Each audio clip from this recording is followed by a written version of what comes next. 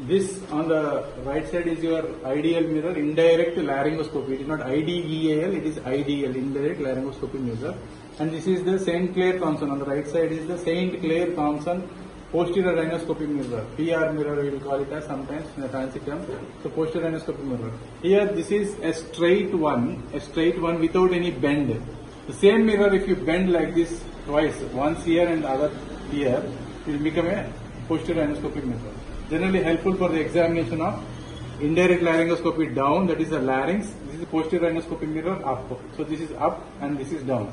So up together facing up, down together it's facing straight, straight into the throat. And uh, one more prerequisite here is these mirrors are having fogging effect. To remove that, you put it inside the Savlon like this.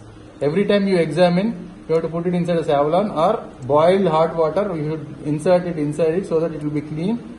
And whatever is the carbon dioxide that is emitted by the gases of the oral cavity or nasal cavity will not fall in. Like an example, you are in a car in a rainy season.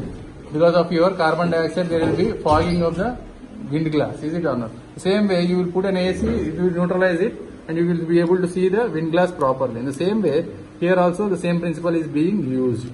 So first, let me do the procedure of posterior rhinoscopy. So posterior rhinoscopy, it is a bent one.